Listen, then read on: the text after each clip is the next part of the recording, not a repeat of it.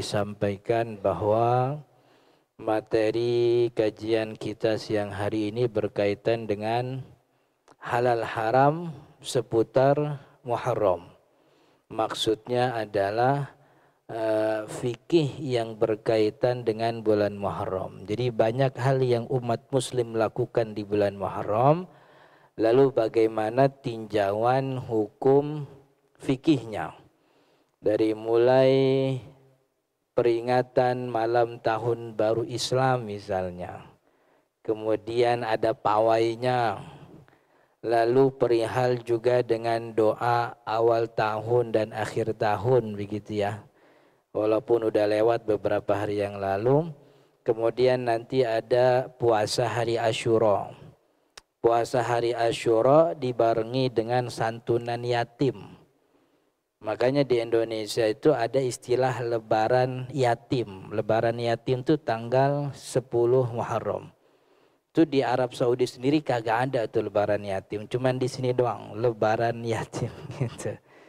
Lebaran yatim kemudian apalagi banyak hal yang dilakukan termasuk ada sebahagian kita yang memperpanjang puasa sunnahnya bukan cuma di tanggal 10 tapi sepanjang bulan Muharram beliau berpuasa dan itu banyak dilakukan oleh para guru-guru kami. Nah, pertama terkait dengan peringatan malam tahun baru Islam atau tahun baru Hijriyah. Uh, yang perlu diketahui Bapak Ibu yang dirahmati Allah, jadi hijrahnya Nabi Muhammad dari Mekah ke Madinah itu bukan peristiwa satu hari jadi. Jadi tanggal satu itu bukan tanggal hijrahnya Nabi Nabi Muhammad hijrahnya tanggal 27 Sofar, nyampe Kubah tanggal 8 Rabiul Awal, nginep sampai 4 hari, hari Jumat baru ke sekarang yang namanya Masjid Nabawi tanggal 12 Rabiul Awal. Jadi hijrahnya panjang, lama. Maka ada kejar-kejaran dulu, Nabi Muhammad ngumpet dulu tiga malam di gua yang namanya Gua Sur. Jadi bukan tanggal 1 Muharram. Dan tanggal 1 Muharram juga bukan tanggal hijrahnya para sahabat, enggak.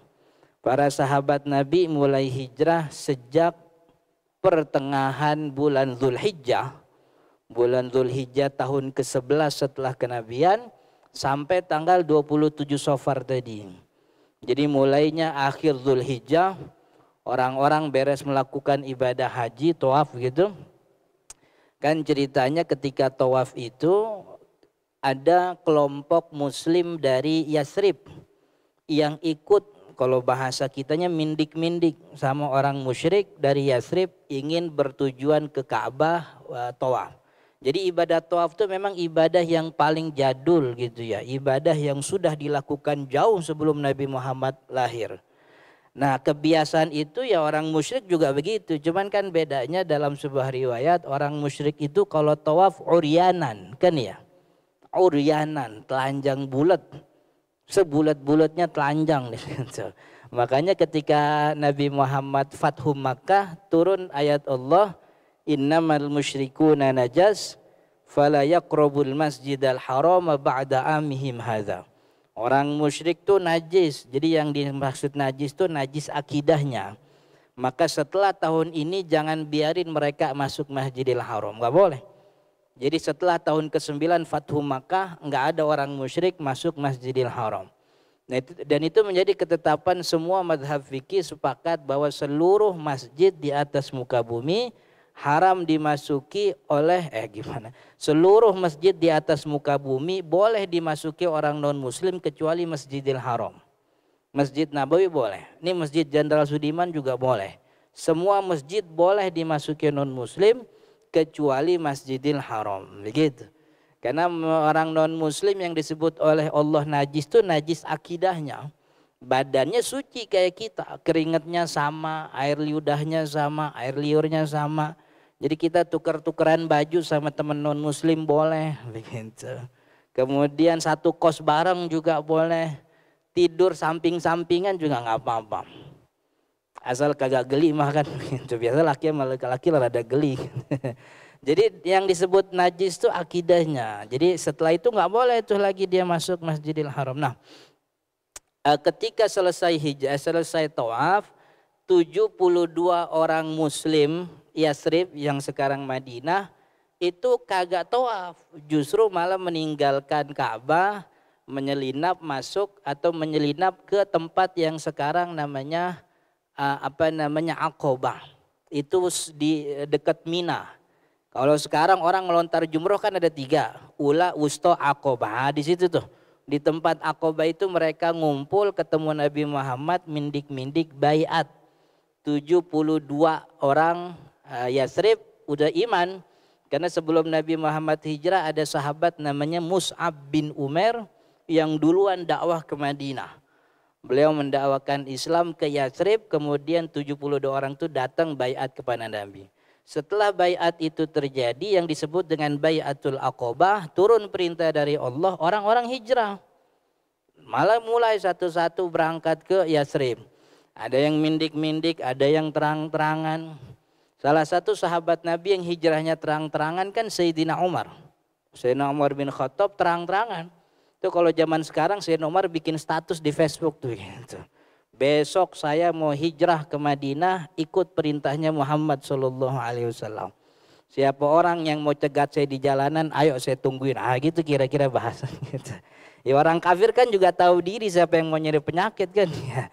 Akhirnya si nomor berangkat. Sampai akhirnya dari mulai Zulhijjah, Muharram, Sofar, sampai 27 Sofar tidak ada muslim dewasa yang tersisa kecuali Nabi Muhammad dan Sayyidina Abu Bakar. Dua orang. Tidak ada muslim merdeka yang dewasa tersisa di Makkah kecuali Nabi dan Sayyidina Abu Bakar. Mulailah itu hijrah panjang perjalanannya. Jadi kalau dikatakan orang merayakan tahun baru Islam itu tidak dikerjakan oleh Nabi, ya emang, emang Nabi Muhammad dulu belum ada kalender Islam. Kalender Islam ini kan mulai muncul zaman Sayyidina Umar bin Khattab, begitu.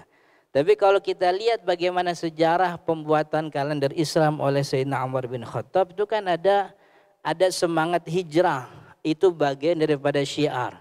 Dalam surat Al-Hajj Allah mengatakan wa man yu'azzim sya'airallah siapa yang mengagungkan syiar Allah fa innaha min taqwal qulub kan gitu. Itu muncul dari ketakwaan hati. Bahasa gampangnya orang yang mengagungkan syiar tuh berarti dia orang takwa. Orang takwa tuh mengagungkan syiar. Gitu. Jadi ngumpulnya orang-orang di masjid, di musola, di majelis taklim, di lapangan merayakan tahun baru Islam itu dalam rangka mengagungkan syiar Allah. Isinya apa? Isinya macam-macam. Ada baca Al-Quran, ada baca sholawat, kan begitu. Kalau di majelis taklim kan itu jadi ajang anak-anak tampil depan umum tuh. Yang punya apalan kulhu maju, kan begitu. Jadi ini salah satu bentuk pengagungan syiar. Kalau ditanya emang dulu Nabi gitu, emang Nabi kagak pernah begitu. Orang kalender Islam belum ada zaman Nabi kan begitu. Jadi ini upaya sebagai bentuk pengagungan atau syiar. Termasuk di dalamnya ada doa. Doa awal tahun, doa akhir tahun. Sebenarnya doa awal tahun dengan doa akhir tahun itu tidak ada yang maksudnya yang nggak gimana-gimana. Namanya orang doa boleh-boleh aja. Orang doa awal bulan boleh, akhir bulan boleh, tengah bulan boleh. Kagak ada bulan orang doa juga boleh pas lagi tengah hari bolong kan begitu. Yang namanya doa mah ibadah mutlak. Karena doa ibadah mutlak maka orang pilih waktu di mana dia suka sah saja. Persis kayak baca Al-Quran. Orang baca Al-Quran kan nggak pernah diperintah oleh Allah, oleh Rasul kalau baca Quran jam sekian ya kagak ada baca Quran itu ibadah mutlak. Karena ibadah mutlak orang boleh pilih kapan baca Quran dia suka. Kata orang, saya maksud kalau baca Quran habis subuh. Emang kenapa habis subuh? Saya habis subuh waktu yang paling senggang. Kalau habis johor saya di kerjaan belum beres. Habis asar lagi capek-capeknya. Habis maghrib di jalanan. Susah nyari waktu ketemunya habis subuh dia tuh mengkhususkan waktu habis subuh untuk baca Quran. Kalau ditanya, ada gak Nabi Muhammad pernah begitu? Kan gak ada. Cuman kan bukan berarti gak boleh. Karena ibadah baca Al-Quran ibadah mutlak. Allah, Rasul kagak pernah netepin waktunya kapan. Maka kita tinggal pilih waktu yang mana kita suka. Kalau saya sesat baca Quran mah habis johor. Emang kenapa habis johor? Ya soal habis subuh saya udah langsung jalan kerjaan saya jauh, rumah saya ada di Bojong, kerjanya di SCBD. Ah, udah subuh-subuh kan Jam 4 pagi udah nyalain motor, habis subuh dia udah di jalanan. Yang paling senggang sih habis zohor, kan gitu. Ada orang lagi saat saya mau baca Quran habis asar. Emang kenapa habis asar? Ya kagak napa-napa sih, saya makan nganggur. Habis asar bisa, habis maghrib juga bisa. Kan? Jadi suka-suka orang ini ibadah yang tidak pernah ditetapkan waktunya. Maka ketika orang-orang milih subuh-subuh ya silahkan, habis bulan ya boleh kan begitu. Malah yang namanya doa mah kudunya sering-sering. Ini ada ada ada studi tour anak TK. Saya waktu itu nganterin anak saya TK, mau studi tour, naik bis. Nganterin sampai bis, sampai poolnya bis, masukin anak-anak, cuman guru-gurunya belum pada naik. Anak-anak udah ngumpul di dalam bis, guru-gurunya ngumpul di belakang bis. Saya liatin di belakang bis mau ngapain tuh guru-guru. Eh rupanya dia doa di belakang bis gitu. Bapak Ibu ya kita doa dulu. Mudah-mudahan perjalanan kita dilancarin oleh Allah, dapat keberkahan, pulangnya dalam keadaan sehat selamat. Kira-kira doa sebelum jalan di belakang bis sebelum seditur ada dalilnya bekagak gitu. Kan itu mana namanya ibadah doa kapan aja boleh. Maka ketika orang memilih awal tahun untuk berdoa agar dapat keberkahan, jauh dari setan, dekat dari ridho Allah. Kan begitu? Kagak ada yang salah. Yang salah itu mewajibkan syariat yang kagak pernah diwajibin oleh syariat. Lu kalau malam Jumat gagak baca Yasin dosa. Nah itu yang gagak boleh itu. Mewajibkan yang kagak pernah diwajibin sama syariat. Syariat bilang baca Quran banyak-banyak. Surat Yasin, surat Yasin juga Quran baca dah terserah. Waktunya kapan ya terserah kan begitu. Ada orang milih malam Jumat, ya kagak apa-apa milih malam Jumat. Orang milih malam Senin juga boleh, nah malam Jumat jadi kagak boleh kan begitu. Cuman yang kagak boleh itu mewajibkan. Lu kalau malam Jumat kagak baca Yasin dosa lu. Lu kalau kagak baca Yasin malam Jumat, anak lu belekan. Itu kan yang kagak boleh begitu, mewajibkan sesuatu yang tidak pernah diwajibkan oleh syariat. Syariat memberikan jalan bagi kita kapan kita mau doa terserah. Yang bagus sering-sering doa, kan begitu. Malah kan kalau kita punya orang tua, kita punya orang tua perempuan nih ibu kita kan segala-galanya doa. Dia mau nusuk apa mau masukin benang ke jarum juga pakai doa tuh. Kan iya. Bismillahirrahmanirrahim. Masuk ya Allah, masuk ya Allah, masuk. Seret. Nah, itu kan kagak ada dalilnya. Dari mana dalilnya baca doa sebelum nusuk jarum? Kan begitu. Jadi ada ibadah yang Allah tetapkan waktunya. Ada yang Allah tetapkan tanggalnya, jumlahnya. Maka orang yang mengerjakan selain daripada perintah itu, itu yang kagak boleh. Tawaf kata Allah, tawaf cuman tanggal, eh tawaf. Wukuf cuman tanggal 9. Arafah kalau ada yang bikin-bikin peraturan, kita bikin aturan baru. Wukuf tanggal 9 cuman buat orang Asia. Orang Eropa wukufnya tanggal 10 biar gak desek-desekan. Kira-kira boleh apa enggak? Oh digeruduk EP itu Saudi Arabia kan gitu. Untung EP udah gak ada. Itu namanya bikin aturan. Maka orang yang mengharamkan sesuatu yang tidak diharamkan oleh syariat itu juga sama-sama haram tuh. Orang baca Yasin kagak apa kagak dilarang kenapa jadi dilarang? Orang ngumpul baca doa kaki dilarang, nah itu yang gak boleh. Jadi pada syariat yang Allah tetapkan waktunya, jangan bikin-bikin, kerjain di waktunya aja. Kata syariat kalau mau kurban bolehnya cuman kambing, sapi, unta, kan ya? Orang kalau mau kurban ayam boleh apa enggak? Iya kagak boleh, cuman kalau motong mah silahkan aja. Ngeramai-ramain orang motong kambing kan ya. Di rumahnya kosong kagak ada kambing ada bebek gue potong bebek. Dah boleh boleh. Cuman kagak bisa disebut kurban. Karena syariat kurban cuman gitu. Jadi yang namanya doa begitu.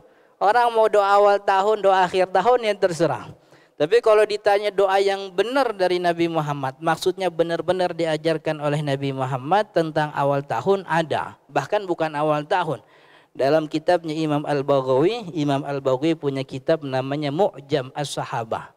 Mu'jam sahabat tuh kalau kita terjemahin kamusnya sahabat begitu. Jadi kamusnya keseharian para sahabat belum menjelaskan ada satu riwayat bahwa para sahabat itu kalau masuk hilal baru, muncul bulan baru, beliau diajarkan oleh Nabi Muhammad satu doa yang kalau mereka belajar tuh belajarnya kayak belajarin ayat Al-Qur'an katanya. Kanu yata'allamuna hadzal du'a kama yata'allamuna Al-Qur'an.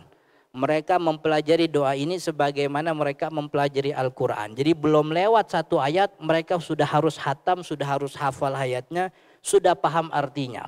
Itu belajar Al-Qur'annya.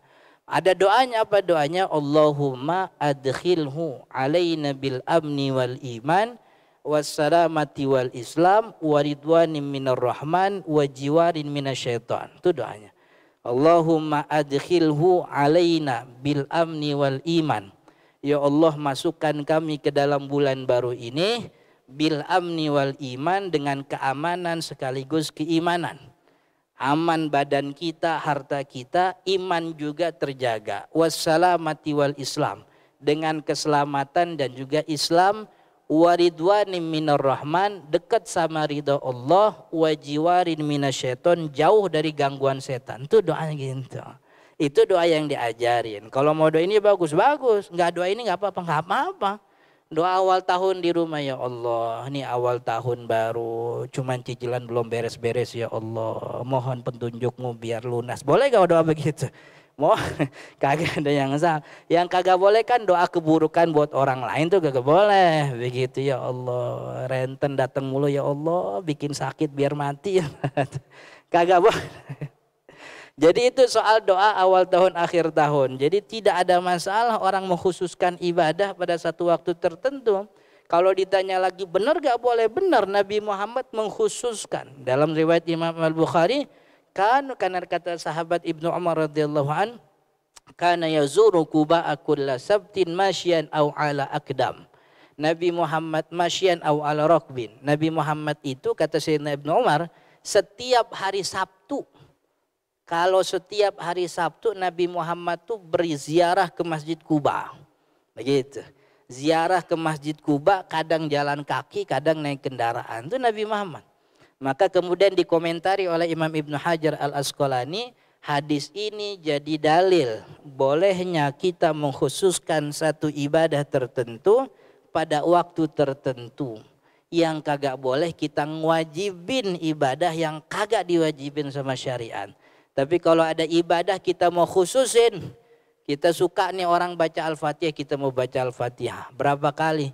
21 kali. Kapan habis subuh? Boleh.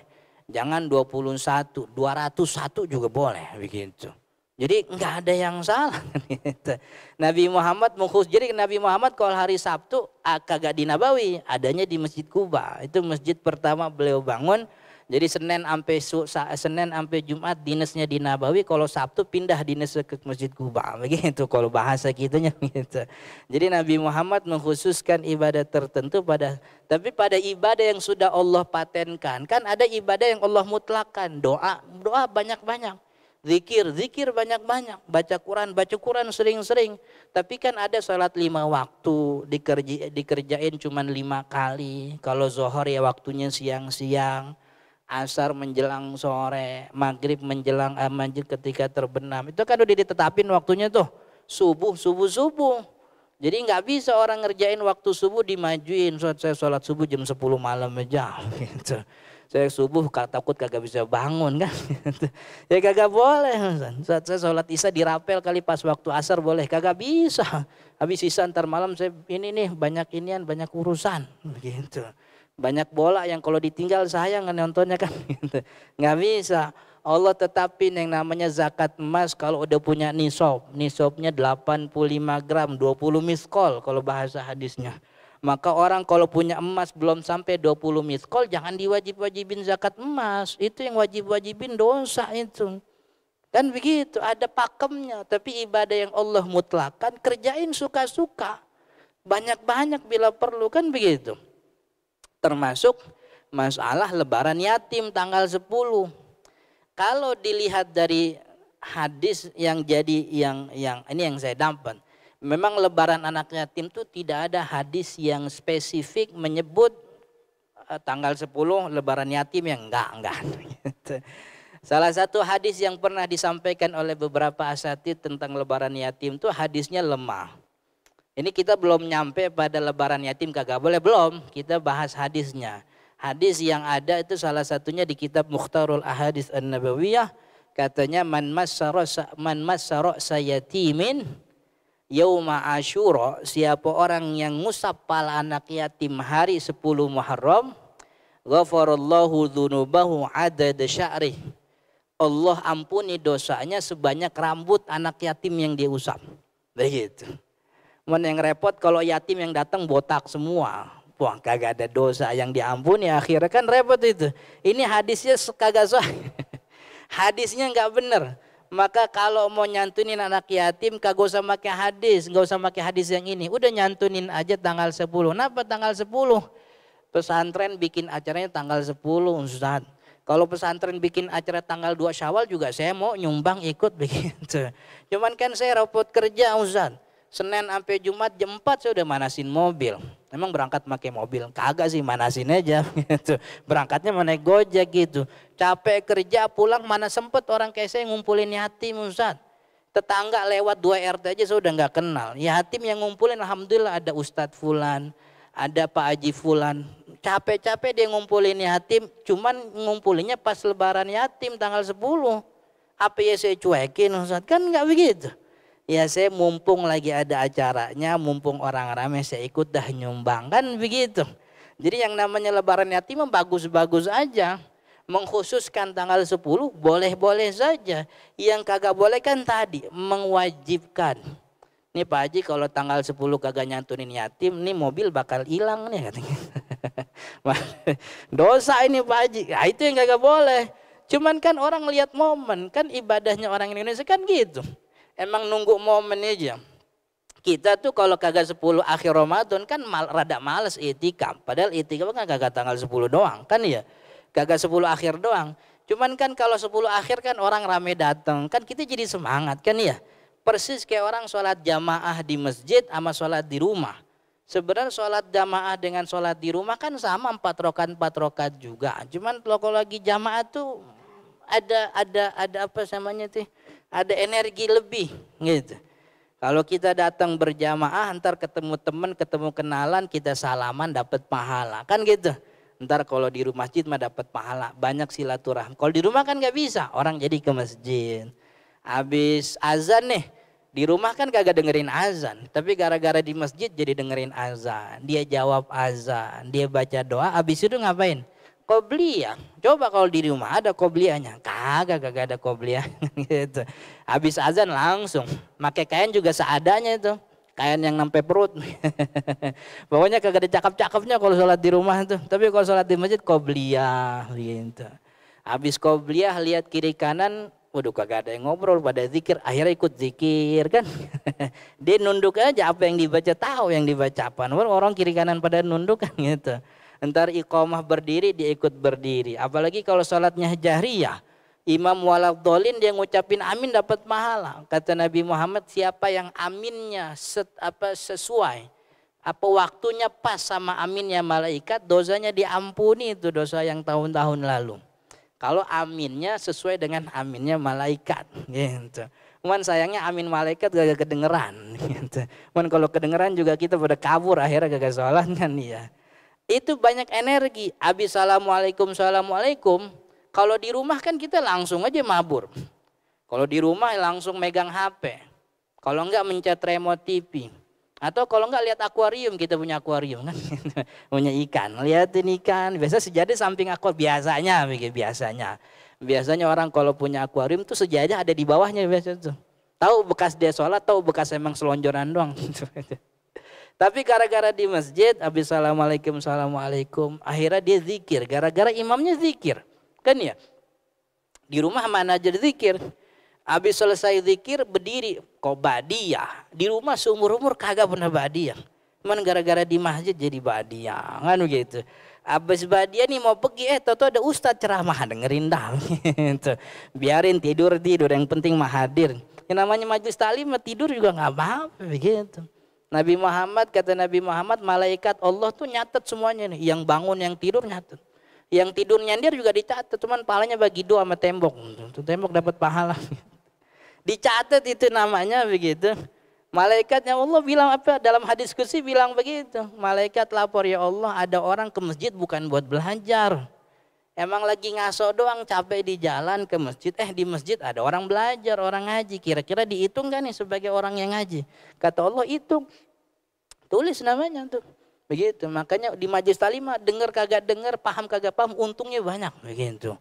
Makanya saya kalau diundang dia mana-mana orang pada tidur, mas saya biarin aja begitu. Urusan saya kan bukan nama yang tidur, urusan saya mah pengurus, gini entar. kan begitu. Jadi emang orang kita tuh suka momen-momennya, maka momen ini kita manfaatkan untuk mensejahterakan anak yatim setahun sekali lah. Daripada kagak sama sekali kan begitu ngambil momen. Cuman tadi kalau pakai hadis yang tadi itu itu emang hadisnya kagak sahih. Malah bisa dibilang mau tuh masa iya diampuni syukuran rambut ya kalau yatim kagak punya rambut bagaimana kan begitu? Itu lebaran anak anak yatim. Jadi enggak tidak ada apa namanya tidak ada yang salah dengan dengan tradisi yang tadi yang salah itu mewajibkan sesuatu yang kagak pernah diwajibin. Yang namanya nyantunin yatim hukumnya sunnah maka jangan diwajib-wajibin. Termasuk juga mengharamkan sesuatu yang kagak diharami nama syariat itu juga salah itu. Ini ya, Pak Haji nggak boleh Pak Haji nyantunin anak yatim tanggal 10 ah nggak boleh.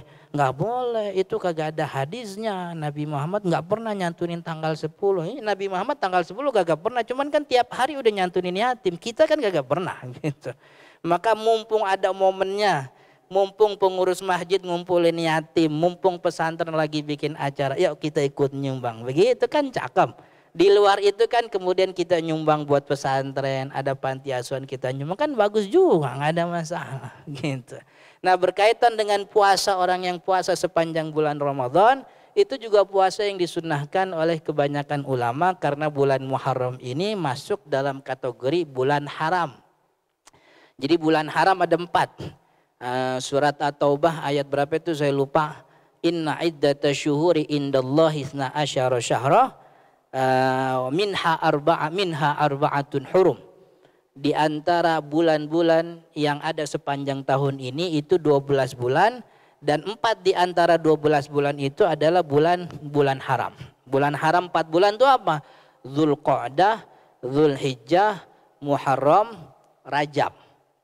Empat bulan, empat bulan haram, tiga berurutan, satu sendirian. Muhadzul Qa'dah, Hijjah, Muharram. Ini tiga nempel semua bareng. Satu lagi sendirian bulan bulan Rajab. Empat bulan ini namanya bulan haram. Bulan haram itu bulan yang dimuliakan. Kenapa Ustaz dimuliakan? Allah yang mulain. Kita mah kagak usah tahu kenapa Allah mulain. Yang penting mah kita muliakan apa yang Allah muliakan. Begitu nggak ada perintah untuk tahu kenapa Allah begitu. Nanti di kuburan juga kagak ditanya, tahu kenapa bulan haram mulia? Kagak tahu begitu. Kagak ditanya kita yang kita tak yang ditanya itu Allah muliain ini. Allah muliakan Muhammad, kenapa ente nggak muliain Muhammad? Allah muliain penghafal Quran, kenapa ente hina penghafal Quran? Allah muliain para ulama yang bawa ilmu warisan Nabi. Kenapa ente panggil apa namanya ente apa diskriminasi kan begitu? Itu yang ditanya. Allah muliain empat bulan haram. Sebagaimana Allah memuliakan malam Jumat, Allah memuliakan tanah haram, Allah memuliakan Lailatul Qadar, Allah punya kuasa atas kepada makhluk siapa yang Allah muliakan. Allah memuliakan empat bulan haram, maka salah satu bentuk pemuliaannya adalah memperbanyak ibadah. Ibadah yang dianjurkan puasa di bulan haram. Muharram bulan haram, maka bukan cuma tanggal 10, ini tanggal 10 itu paling cakepnya. Gitu. Tapi selain itu kita juga dianjurkan puasa di bulan di bulan haram. Karena ada dulu ada orang dari suku Al-Bahili. Suku Al-Bahili datang kepada Nabi Muhammad badannya kurus. Nabi Muhammad nanya, ente yang bikin kurus ente siapa gitu. Ya Rasul, saya kurus gara-gara puasa tiap hari. Jadi puasanya tiap hari orang bahal baik. Kata Nabi Muhammad yang ngajarin puasa tiap hari siapa? Kagak ada sih, cuman kan saya nih duit kagak punya buat sedekah. Sholat lumayan kagak rajin gitu. Kemudian yang paling bisa saya buat ibadah ya badan ini saya bikin puasa aja tiap hari. Kata Nabi Muhammad besok-besok jangan begitu. Sayang badan capek akhirnya jadi kurus. Terus gimana ya Rasul saya mau ibadah. Kalau mau puasa, puasa Ramadan aja. Kata orang Al-Bahili ini, Ya Roh puasa Ramadan mah gampang ya Rasul, masih kuat nih. Tambahin sehari bulan Sawal. Masih kuat ya Rasul, tambahin dua hari. Masih kuat ya Rasul, tambahin tiga hari. Ya Rasul, itu mah masih ringan buat saya. Kata Nabi Muhammad, sum sahara sabri wa thalathati ayamin ba'daha wa sum ashhurul hurum. Puasa bulan Ramadan, tambah tiga hari syawal, dan puasalah di bulan-bulan haram. Itu hadis Nabi Muhammad kepada orang Al-Bahili berarti perintah juga buat kita riwayatnya sahih hadis riwayat Imam At-Tirmidzi. Ini yang jadi dalil ulama mensunahkan puasa di bulan haram termasuk bulan Rajab. Makanya ada puasa sunnah Rajab ini dalilnya. Gitu. Kalau pakai dalil yang Rajab yang doif ya emang gak bisa. Ini dalil. Puasa di bulan-bulan haram itu disunahkan. Cuman kalau nggak bisa sepanjang bulan minimal tanggal 10 kita puasa. Kata Nabi Muhammad orang yang puasa 10 Asyura berarti dosanya diampuni dosa yang tahun lalu. Dan kalau bisa ditambahin tanggal 9. Kalau tanggal 9 masih bisa 9, 10, 11 tambahin. Itu paling bagusnya 3, 9, 10, 11. Kalau nggak bisa ya 10, 11. Atau 9, 10. Kalau nggak bisa ya tanggal 10 aja. Kalau nggak bisa juga, udah gak puasa juga nggak apa-apa. Puasa Asyura sunnah hukumnya. Gitu. Puasa Asyura hukumnya hukumnya sunnah. Baik, mudah-mudahan bermanfaat. Insya Allah kita lanjut di pertemuan akan datang. Subhanakallahumma bihamdika asyhadu an la ilaha illa anta astaghfiruka wa atubu ilaik. Hadanallahu ayyakum ajma'in. Assalamualaikum warahmatullahi wabarakatuh.